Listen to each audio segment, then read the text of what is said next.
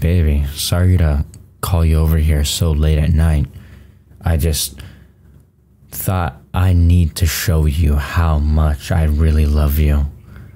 And to do that, I'm gonna do something very few would do for you.